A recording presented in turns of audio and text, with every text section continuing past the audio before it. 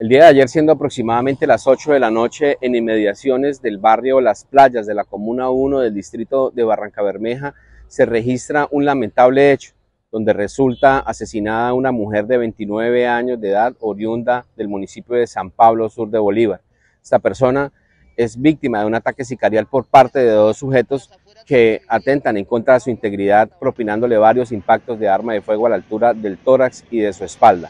Una vez se registra este hecho, el componente de Policía Judicial, Inteligencia y articulados con la Fiscalía General de la Nación de manera inmediata activan todas las labores de vecindario e investigativas para esclarecer los móviles de este hecho. Se ha establecido de que esta persona le registran antecedentes por los delitos de tráfico y porte de estupefacientes y que además su pareja sentimental se encuentra en el centro penitenciario de Barranca Bermeja purgando una condena por los delitos de homicidio y porte ilegal de armas.